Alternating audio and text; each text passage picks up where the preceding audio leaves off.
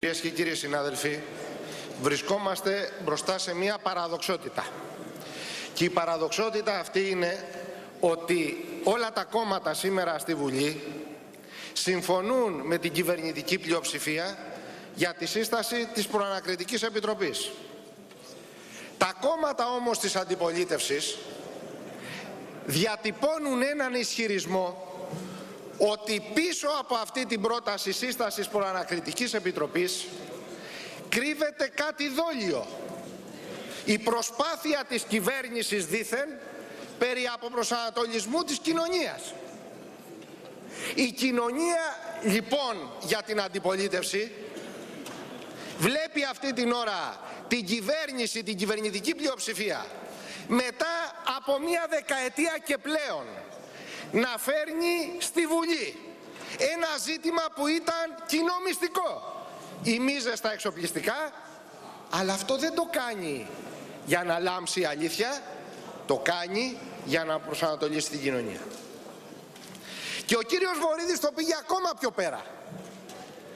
Ότι εκτός από αυτή την προσπάθεια κάνει και μία άλλη με το θέμα της μνήμης του Νίκου Μπελογιάννη ότι προσπαθεί να μιλήσει σε ένα ακροατήριο της αριστεράς ακριβώς διότι τα μέτρα τα οποία εφάρμοσε δεν ήταν και τόσο φιλολαϊκά.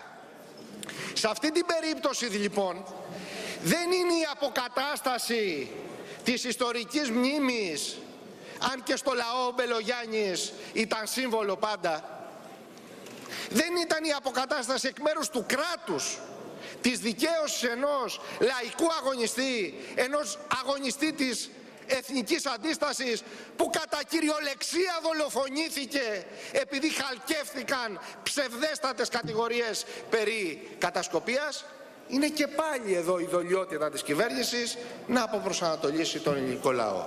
Υπάρχει λοιπόν ένα σχέδιο αποπροσανατολισμού το οποίο και στη μία και στην άλλη περίπτωση αυτή η κυβέρνηση το οργανώνει όχι γιατί θέλει να λάμψει αλήθεια ούτε γιατί θέλει να αποκατασταθεί ένας λαϊκός αγωνιστής ως υποχρέωση του κράτους αλλά για να παραπλανήσει το λαό. Κυρίες και κύριοι συνάδελφοι νομίζω ότι καλό είναι να μην κάνουμε δίκη προθέσεων αλλά βλέπουμε τι έχει κάνει ο καθένας. 14 χρόνια πέρασαν για να έρθει στη Βουλή το συγκεκριμένο ζήτημα και κατηγορείτε την κυβέρνηση για δίκη προθέσεων. Οι δικές σας προθέσεις ποιες ήταν. Και όχι μόνο αυτό, διαμφίζετε όλη αυτή την κατάσταση με κατηγορίες του τύπου ότι δεν ήταν προσεκτική η κοινοβουλευτική ομάδα του ΣΥΡΙΖΑ και των ΑΝΕΛ στην κατάστρωση της πρότασης.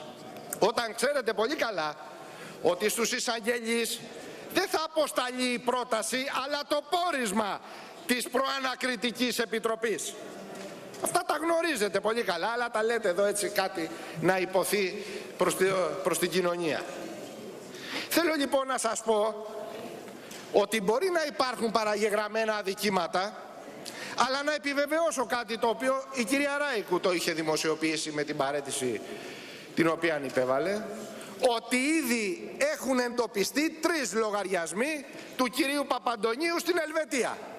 Και ξέρετε πολύ καλά ότι αν συνδεθούν οι λογαριασμοί και το περιεχόμενο των λογαριασμών με χρήματα τα οποία αναφέρονται σε αυτές τις αξιόπινες πράξεις τότε δεν υπάρχει παραγραφή γιατί το αδίκημα είναι διαρκές επεκτείνεται σε, σε χρόνο που δεν είναι υπουργός, που δεν τον καλύπτει λοιπόν το κατασκεύασμα το συνταγματικό των κυβερνήσεών σας και μπορεί να διωχθεί.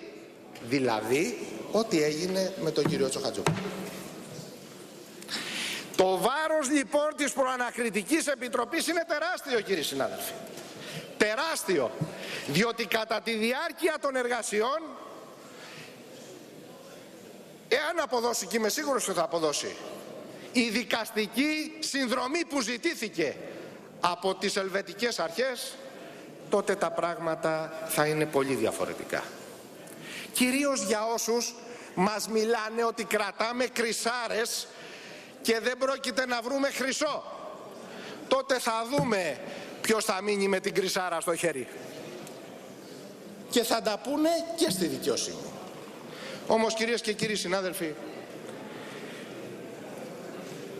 ζητήθηκε με την ευπρέπεια που τον διακρίνει βεβαίως από τον κοινοβουλευτικό εκπρόσωπο της Νέας Δημοκρατίας, τον κύριο Δέδια, και με ένα ύφος ο λίγων εισαγγελικό από τον κύριο εκπρόσωπο του ΠΑΣΟΚ, να αναφερθώ στην παρέτηση της κυρίας Ράικου και θεωρώ ότι είναι υποχρέωσή μου να το κάνω. Κυρίες και κύριοι βουλευτές, αν έχετε διαβάσει το κείμενο της παρέτησης της κυρίας Αντισαγγελέως, της κυρίας Ράικου, διαλαμβάνονται εν αρχή τρία δεδομένα. Κατά πρώτον η κυρία Ράικου αναφέρει στην επιστολή της ότι από το Δεκέμβριο ασχολείται με αυτή την υπόθεση διότι έλαβε την παραγγελία από τον Υπουργό Δικαιοσύνης. Δεν την έλαβε από κάποιον εισαγγελικό λειτουργό, από την κυβέρνηση την έλαβε την παραγγελία. Αυτό λέει η κυρία Ράικου. Και συμφωνούμε απολύτως, απολύτως για την υπόθεση Νοβάρτης. Διότι μέχρι τότε και η προηγούμενη κυβέρνηση δεν είχε πράξει το παραμικρό προς αυτή την κατεύθυνση. Η κυβέρνηση λοιπόν είχε την πρωτοβουλία εκκίνησης αυτής της υπόθεσης και λόγω της κυβερνητικής πρωτοβουλίας διερευνάται τώρα το σκάνδαλο Νοβάρτης. Πρώτη συμφωνία με την κυρία Ράικο. Το δεύτερο είτε ότι αναφέρει μέσα στο κείμενο της παρέτησης ότι η έρευνα είχε φτάσει σε ένα ικανοποιητικότατο επίπεδο όσον αφορά χιλιάδες, χιλιάδες κύριοι συνάδελφοι, εμπλεκόμενους ιατρούς του ΕΣΥ, οι οποίοι, προσέξτε, ελάμβαναν χρηματοδότηση στους λογαριασμούς τους κατευθείαν από την ΟΒΑΡ της Ελβετίας. Πού ήξερε η ΟΒΑΡ της Ελβετίας τους γιατρούς στην Ελλάδα του ΕΣΥ και τους λογαριασμούς τους; Πολύ σωστά λοιπόν αποκαλύπτονται αυτά τα ζητήματα. Όπως επίσης και νομικά πρόσωπα στην Ελλάδα τα οποία ήταν τα οχήματα διοχέτευσης αυτών των χρημάτων σε κρατικούς λειτουργούς. Δεν θα πω τίποτα περισσότερο αυτή τη στιγμή. Από τη συζήτηση που είχα με την κυρία Ράικου την 5η 23 Μαρτίου. Ε, την 5η 23 Μαρτίου είχαμε συζητήσει για τα ζητήματα αυτά. Πολύ σωστά λοιπόν διατυπώνονται αυτές οι διαπιστώσεις. Και μάλιστα αναφέρει ότι μέχρι στιγμή, μέχρι στιγμής,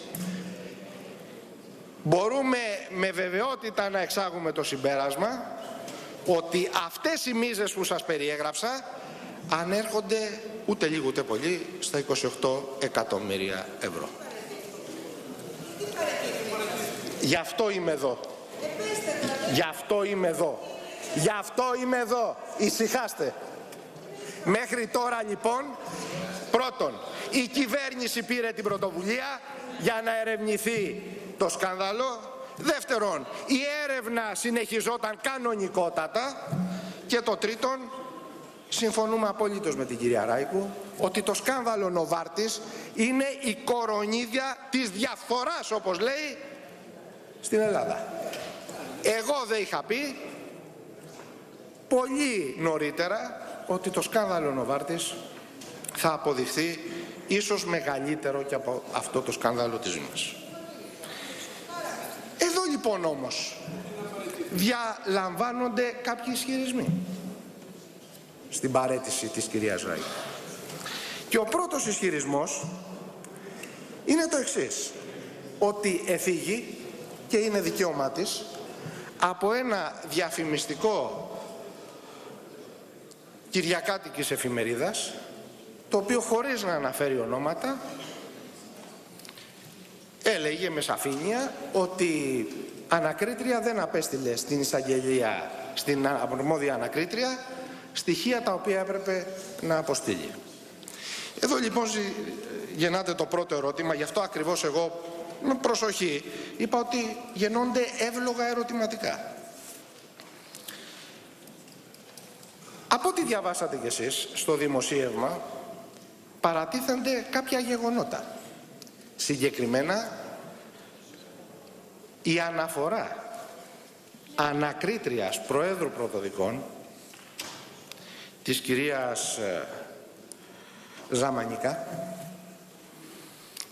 αναφορά της κυρίας Ζαμανικά προς τον επόπτη αντισαγγελέα εφετών τον εισαγγελέα που εποπτεύει το έργο της διαφθοράς ότι ενώ είχαν ζητηθεί δεν είχαν αποσταλεί και σε κάθε περίπτωση αποστάλησαν με καθυστέρηση συγκεκριμένα έγγραφα τα οποία είχαν κατασχεθεί.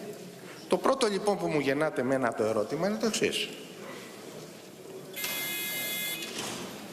Από πού και ως πού την παραμονή της δημοσίευσης η κυρία Αντισαγγελέας μιλάει για δημοσίευμα άκρο συκοφαντικό και υποβολημαίο.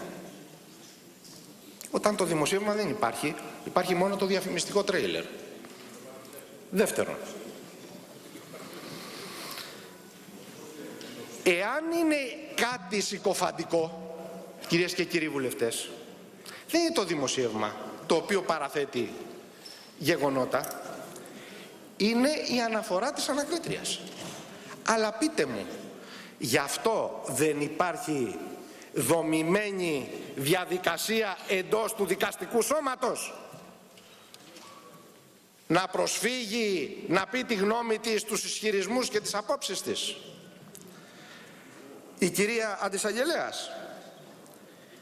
Και σε τελευταία ανάλυση, γιατί στρέφεται με χαρακτηρισμούς κατά της κυρίας Ζαμανικά; Όταν η κυρία Ζαμανικά ακολουθεί την διαδικασία την προβλεπόμενη από τον κώδικα.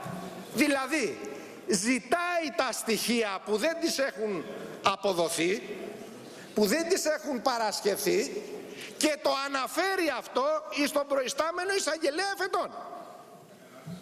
Αυτό που είναι το πρόβλημα. Για να δούμε. Διότι ενώ η ανακρίτρια και πρόεδρος πρωτοδικών λέει ότι εγώ δεν έχω στοιχεία τα οποία έχουν καταγραφεί στην πράξη κατάσχεσης η κυρία εισαγγελέας αντιδρά κατά αυτόν τον τρόπο. Εδώ λοιπόν πρέπει να κάνουμε μία στάση για ορισμένες διαπιστώσεις.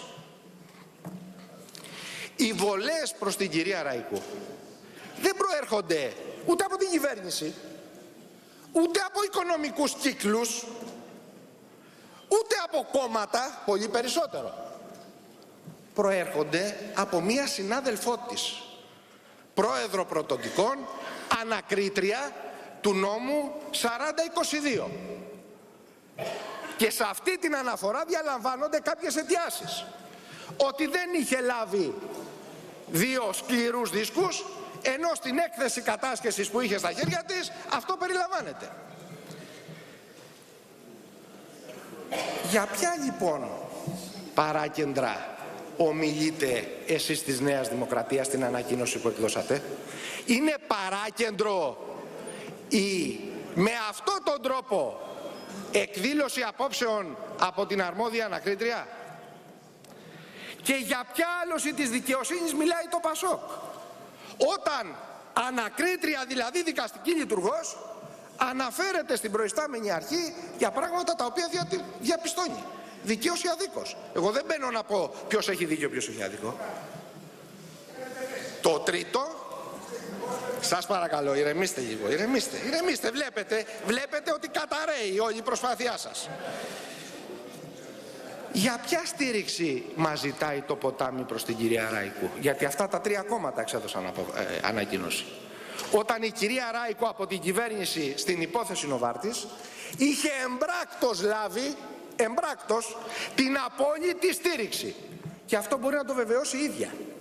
Και να το βεβαιώσει δημόσια και όχι με μήνυμα που μου απέστειλε στο τηλέφωνο μου. Ζητάω λοιπόν από την κυρία Εισαγγελέα να μας πει επιτέλους ποιοι ήταν αυτοί που την εμπόδισαν στη συγκεκριμένη υπόθεση. Διότι η κυβέρνηση έκανε ό,τι ήταν δυνατόν σε αυτό που της αναλογούσε στις διπλωματικές επαφές της χώρας για να ευδοκιμήσει η δικαστική συνδρομή με τις Ηνωμένες Πολιτείες και να κινηθεί γρήγορα η διαδικασία έκανε ό,τι ακριβώς έπρεπε σε απόλυτη συνεννόηση με την κυρία Εισαγγελέα.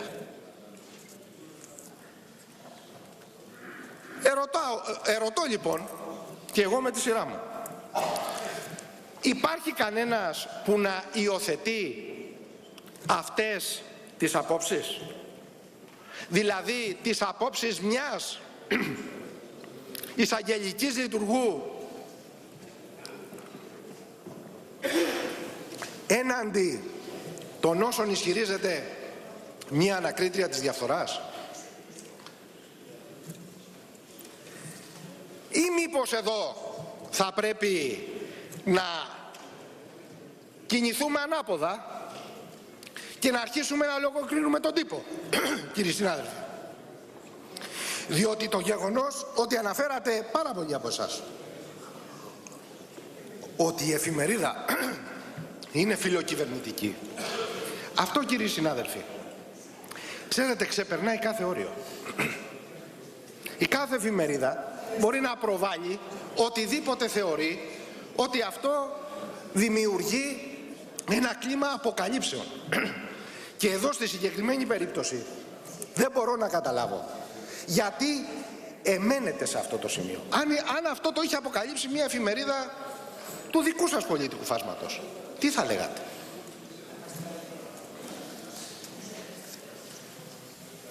Κυρίες και κύριοι συνάδελφοι, ανέφερε ο κύριος Νέδιας και κατέθεσε την ανακοίνωση της Ένωσης Δικαστών Εισαγγελέων.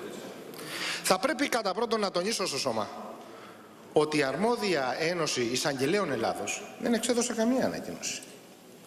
Ακριβώς γιατί δεν παίρνει θέση Εισαγγελέων Ελλάδος. Δεν παίρνει καμία θέση σε ένα καθαρά υπηρεσιακό θέμα που αναφέρονται δύο επίλεκτα στελέχη της δικαστικής κοινότητας μία αντισαγγελέας εφετών και μία πρόεδρος πρωτοδικών ανακρίτρια κατά της διαφθοράς. Αντιθέτως, η Ένωση Δικαστών Εισαγγελέων κάνει κάποιες αναφορές ενδιαφέρουσες.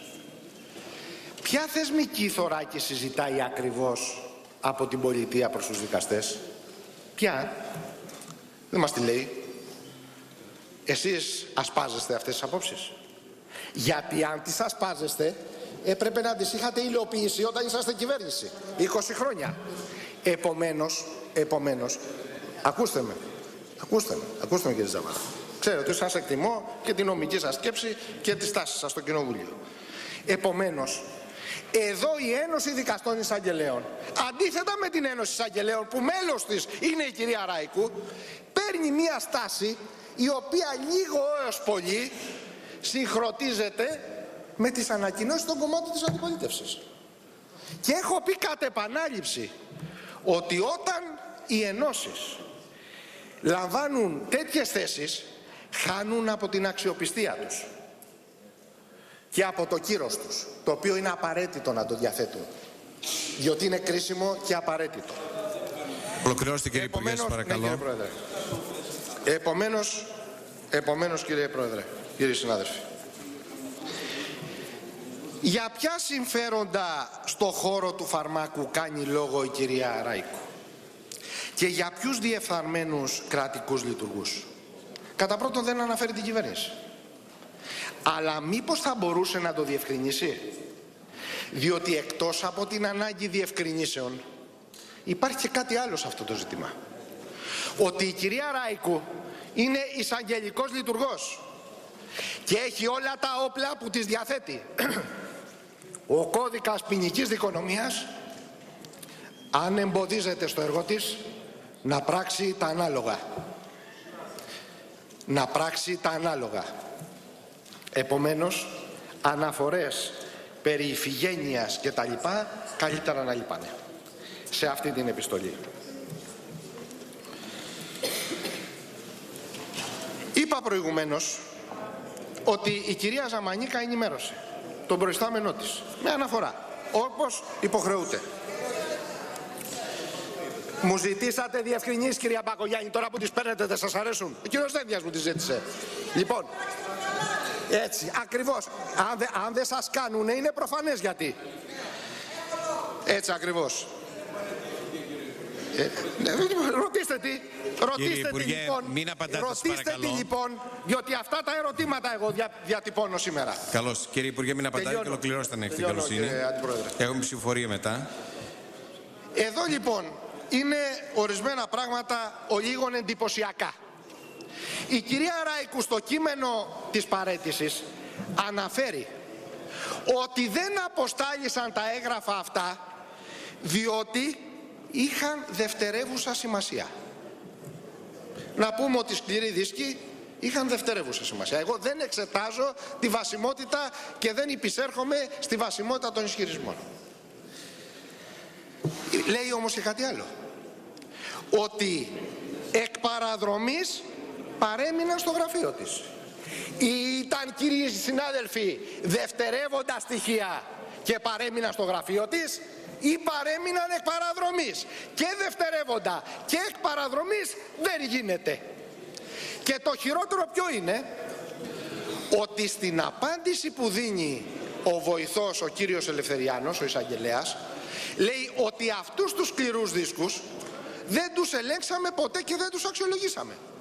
Πώς λέει λοιπόν η κυρία Ράικου ότι ήταν δευτερεύοντα στοιχεία; Ή δεν ανοίχτηκαν και δεν αξιολογήθηκαν ή ανοίχτηκαν και κρίθηκαν δευτερεύοντα; Δεν βλέπετε εδώ μία συνέχεια σε ισχυρισμούς; Δεν βλέπετε αντιφατικούς ισχυρισμούς; Θέλω λοιπόν να πω ότι αυτά χρήζουν περαιτέρω διερεύνησης. Ποιος θα την κάνει κύριοι συνάδελφοι; Θα την κάνουν τα αρμόδια πειθαρχικά όργανα της δικαιοσύνης και τα όργανα που με βάση τον οργανισμό δικαστηρίων είναι θεσμοθετημένα να ελέγξουν αυτή την υπόθεση. Θα μπορούσε η κυρία Ράικου να απευθυνθεί εκεί; Βεβαίως. Προτίμησε δύο μήνες πριν τη λήξη της θητείας της την παρέτηση. Αλλά εδώ υπάρχει και ένα άλλο θέμα. Με αυτό κλείστε κύριε Υπουργέ, σας παρακαλώ. Ακριβώς, κλείνω με αυτό. Υπάρχει ένα άλλο θέμα. Καθό χρόνο η προϊσταμένη της, η κυρία Ξένη Δημητρίου, εισαγγελέας του Αρίου Πάγου, βρίσκεται στο εξωτερικό, υποβάλλει μια παρέτηση και πριν αυτή η παρέτηση περιέρθει εις γνώση της εισαγγελέας του Αρίου Πάγου, δημοσιοποιείται. Την παραμονή εκδόσεως της εφημερίδας. Χωρίς να γνωρίζουμε ούτε καν ποιο είναι αυτό το δημοσίευμα. Αυτό κυρίες και κύριοι συνάδελφοι, σας ερωτώ. Είναι στάση εισαγγελικού λειτουργού, ο οποίος καλεί και στο γραφείο τους τους δημοσιογράφους για να δώσει διευκρινήσεις; Όταν η δικαιοσύνη έχει θεσμοθετημένα όργανα και μπορεί σε αυτά να λυθεί το οποιοδήποτε ζήτημα; Κυρίες και κύριοι συνάδελφοι, τελειώνω και λέω τούτο. Και στην συζήτηση που έγινε για τα δάνεια των κομμάτων και των μέσων μαζικής ενημέρωσης, είχατε έρθει εδώ με πομπόδεις εκφράσεις να μας πείτε και τι έγινε τώρα, μια τρύπα στο νερό. Βλέπετε όμως ότι το πόρισμα που απεστάλλει από τη Βουλή στους εισαγγελείς ήδη τους απασχολεί. Και ξέρετε ποιο είναι το ενδιαφέρον; Ότι μεταξύ των εισαγγελέων που ασχολούνται με την υπόθεση είναι και ο κύριος Καλούδης. Δεν ξέρω αν σας λέει τίποτα το όνομα σε ορισμένους. Και ήδη η έρευνα συνεχίζεται. Εγώ λοιπόν θέλω να σας πω ένα και μόνο, α, σαν αυτό που είπε ο Πρωθυπουργός. Η αλήθεια βρίσκεται στο δρόμο της και τίποτα δεν θα την εμποδίσει. Το είχε πει και ο Ζολά στο κατηγορό. Σας ευχαριστώ πάρα πολύ. Ευχαριστούμε κύριε Υπουργέ. Ευχαριστούμε κύριε Υπουργέ. Ε, έχει τελειώσει η συζήτηση. Ε, κύριε Βενιζέλο, έχετε ζητήσει το λόγο, αλλά δεν αναφέρετε